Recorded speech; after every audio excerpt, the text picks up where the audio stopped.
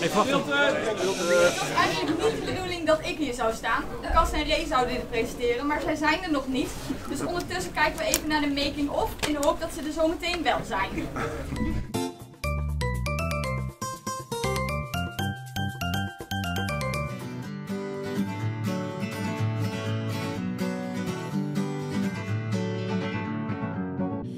Eh, het speelt zich af op Curaçao. En eh, het is zeg maar, je hebt eh, papa, mama en eh, drie kinderen. En de baby wordt ontvoerd door een hele grote vogel, Caracara vogel. Warawara vogel, ja. ja. meid. En het is aan jou om samen met eh, je papa, mama en de twee kinderen eh, Eva weer terug te krijgen door de levels heen. Dus eh, ze hebben, ze hebben- allemaal hebben ze een eigen ability. Ze kunnen allemaal iets speciaals. So wake me up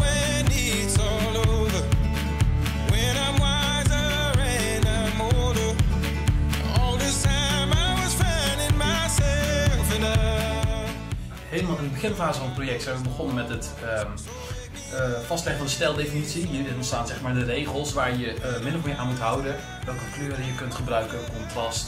Zo zorg je eigenlijk dat alle assets gewoon netjes binnen je omgeving passen. En vervolgens ga je eigenlijk schetsen maken en een idee scheppen hoe je model eruit moet gaan zien met een omgeving daarbij. Ja, en uit die concept art kun je dan eigenlijk uitmaken of je element past in het geheel. De volgende stap is eigenlijk gewoon het opstarten van 3ds Max en eh, zorgen dat het ook daadwerkelijk er zo uit gaat zien.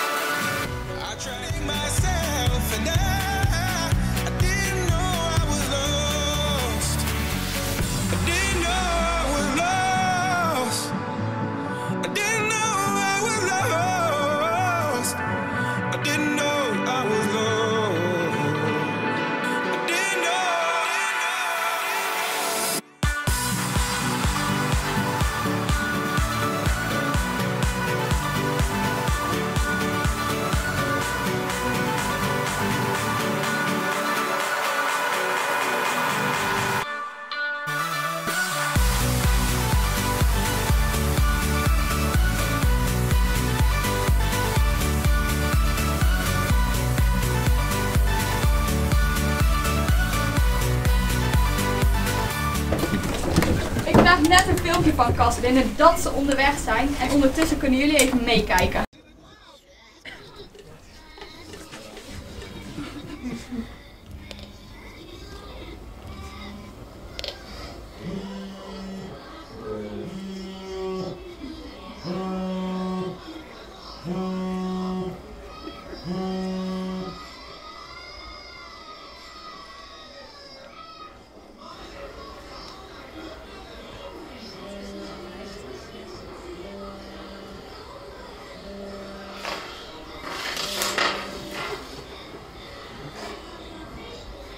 Lucas. Ja, Kas, de presentatie begint over 10 minuten. Shit. Waar ben je?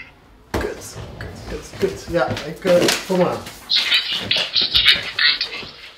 Ja, zeg maar even tegen Ray. Ray is ook nog steeds nergens te vinden. Zie je ook niet? Dat zeg ik. Oké, ik ga hem bellen. Yo. Dan zeg ik van de presentatie. Ik zeg, nee, jullie moeten het voorkeren.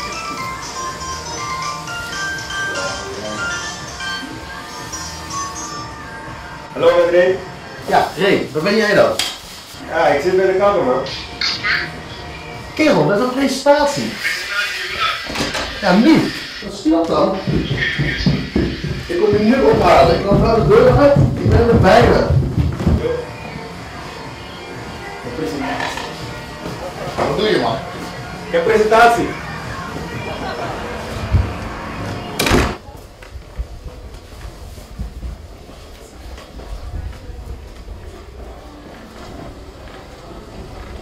Hey, Hey Klaas, wat moeten we zeggen?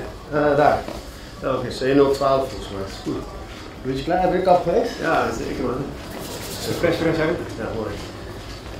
Hé hey man. Ja, super. Oh, denk man. Kijk, de tweede deur volgens mij.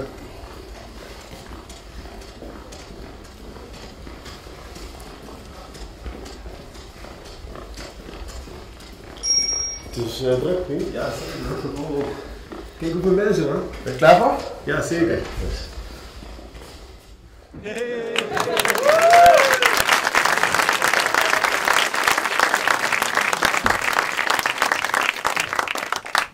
Maar ja, volgens mij, ik heb net gehoord dat jullie ook al een filmpje hadden gezien of zo, van tevoren. Ja, ja, ja. Want daar hebben we volgens mij ook al wat over verteld, over de familie. Dus eh, over Kayla en Jay. Dat- Heb je dat al gezien of niet? Ja? Oh mooi, dan hoef je daar niet meer over te vertellen.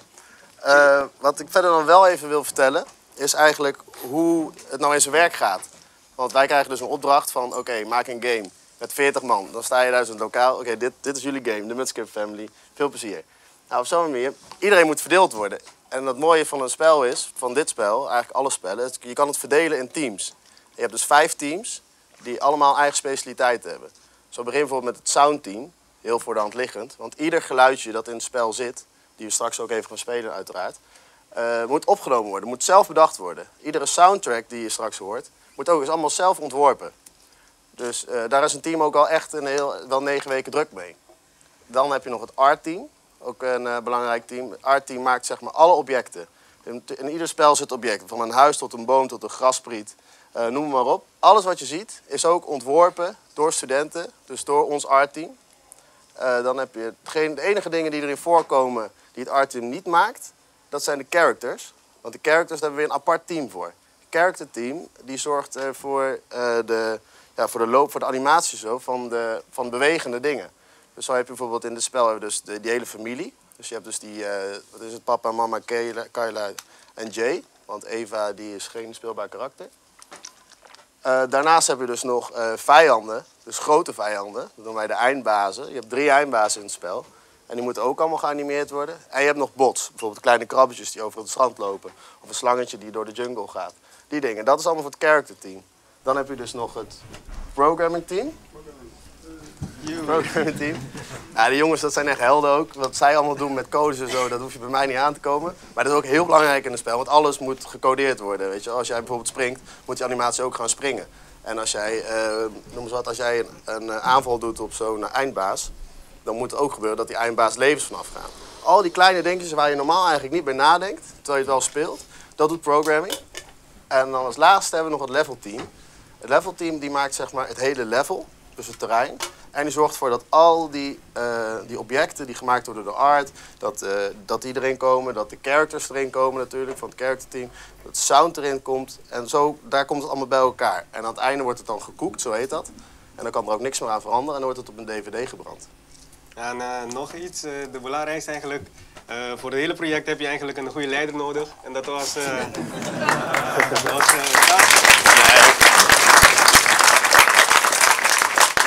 eh, Kaas. Nee, tuurlijk, we hebben het met z'n allen gedaan, absoluut. En eh, ik moet wel eerlijk zeggen, ik vond het heel tof om te doen. Het is echt het leukste project dat ik tot nu toe op school heb gedaan. Ik denk ook omdat we gewoon een heel fijn team hadden. Iedereen was heel gemotiveerd. En in het begin was het allemaal nog een beetje ro- rommelig. Van oké, ja, jullie doen dat maar, jullie doen dat maar.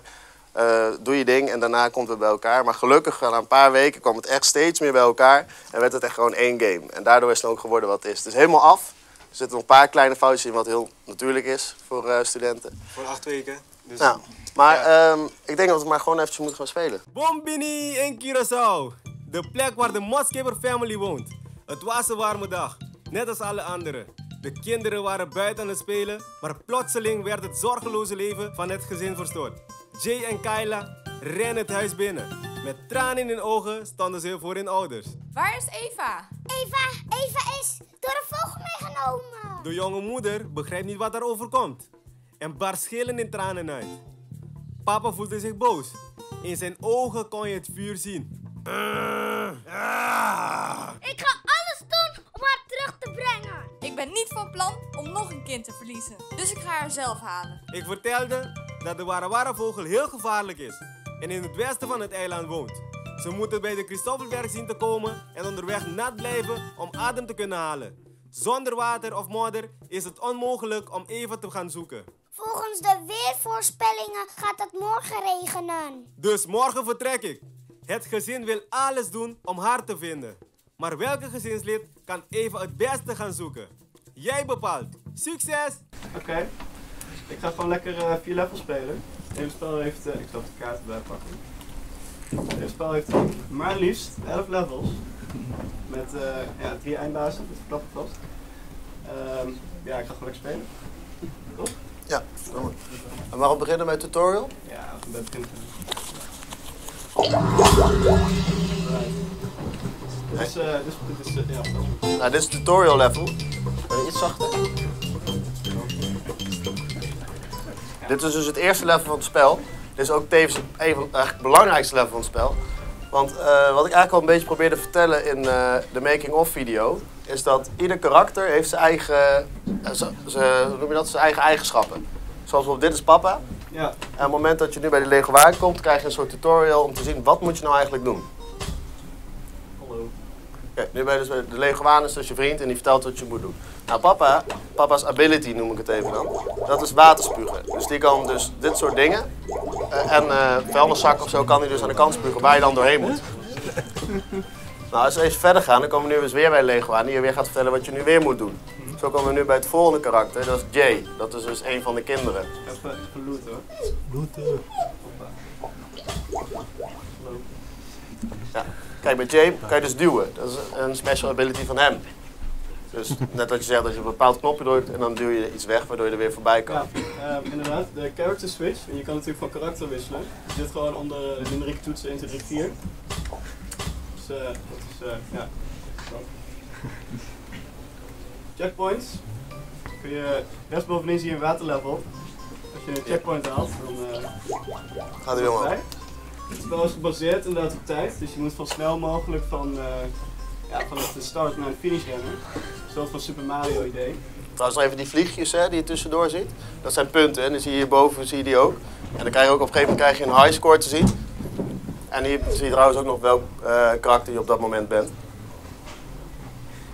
Ja, inderdaad. Oh, nou komt een heel leuk stukje. Als we het hebben. Ja, dit is Hier heb ik, eh, heb ik echt heel veel geoefend. oh, we zien dat het nou fout gaat, maar... Nee. Ja. ja. Kijk. Dat was speciaal aan van Jay, die kan... ja, wat standpunt komt. En mochten jullie het spel nog zelf gaan spelen, dan kan je het ook rustig aan doen. Want eh, de, de boot dat het eh, water afgaat, dat gaat hij veel minder snel, zodat je alles rustig kan ontdekken en zo. Daar is het level ook voor. Ja. Ja, met mama kun je zweven. Sexy. En we gaan door. Nou, hier zien we de finish. En eh dat was eerst level. Ja. Goed. Eh, je kan altijd terug naar de kaart ook. De kaart kan je zelf nog levels aanklikken. Dus als je echt even in een probleem zit met een level en je wil eventjes gewoon lekker doorspelen, dan kan dat. Het was in principe eerst niet de bedoeling, maar achteraf is het eigenlijk wel goed dat we dat gedaan hebben, want sommige levels zijn ook best wel lastig. Ah, dit is het vliegveld. Oh, deze is wel leuk om te laten zien. Oké. Komt ja? Hoppa. Maar wat ik net dus ook vertelde, is dat alles wat je ziet, wat je hoort en, eh, en eh, het, hoe je speelt, dat is allemaal ontworpen door de studenten.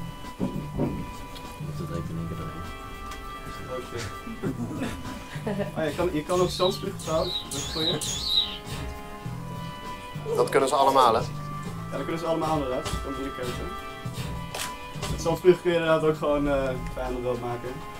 Superleuk.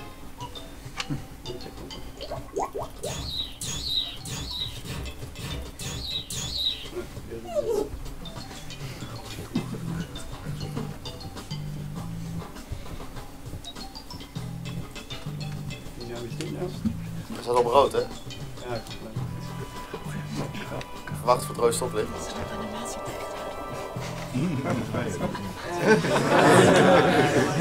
Truman story.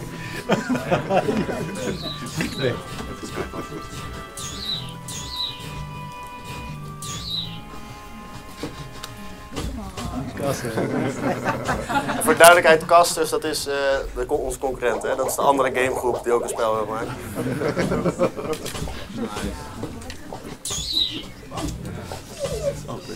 Er komt nu een epische showdown. Ja, dit is dus een van de drie eindbazen. Dit is dan de slang.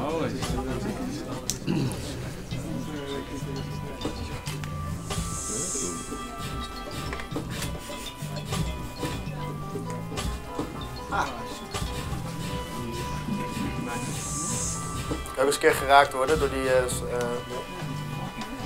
Ah ja, inderdaad, als je, als je geraakt wordt door een vijand, dus of je loopt er tegenaan of wat dan ook, eh verlies je dus water. En ja, op die manier hebben we de game uitdagend gemaakt. Kom dan.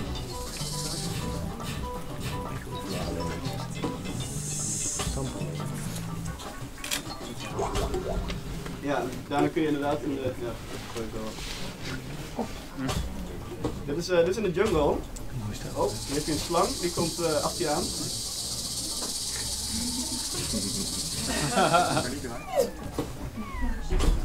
Ja, in de achtergrond we een toffe achtergrondgeluidjes die het soundteam heeft gemaakt.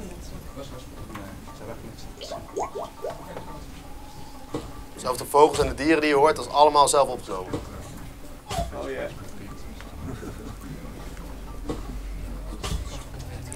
Alsof ik het doe.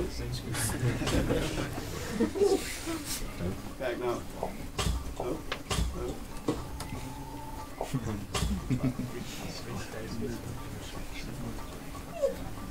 nog een klein stukje. Even naar beneden.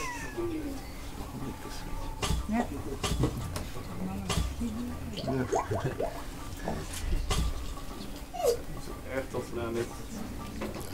Nou, dit is dus. eh Jammer man, dat was het. Ja. Nog gedaan?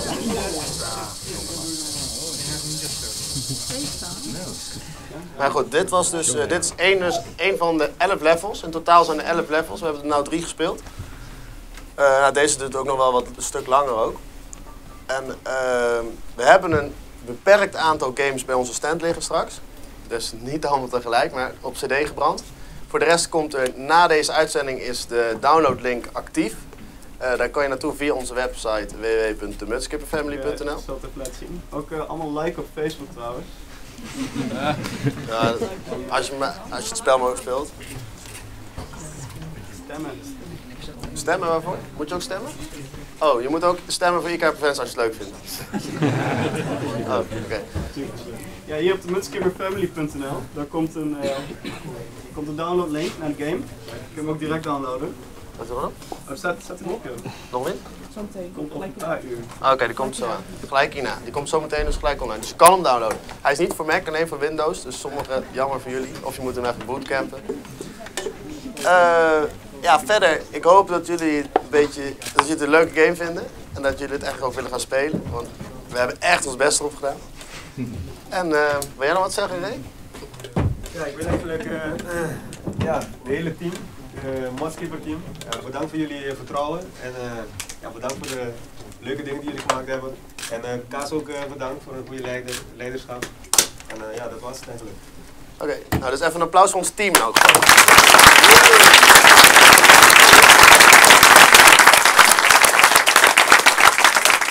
nog eh, één ding natuurlijk, dat altijd aan het einde van de presentatie is. Zijn er nog vragen? Alsjeblieft, zijn er vragen? Stel ze. Ja hoor, je mag alles vragen. Waar ga je naar de kapper? Dat dus niet. Nee? Ik heb geen vraag, maar wel een commentaar. Je hebt eh, gezegd over, ehm, ja, het is een afgerond product, er zijn er nog wat bugs in en dat is normaal voor een studentenproduct. Dit is helemaal niet normaal. Dit is Nee. buitengewoon goed.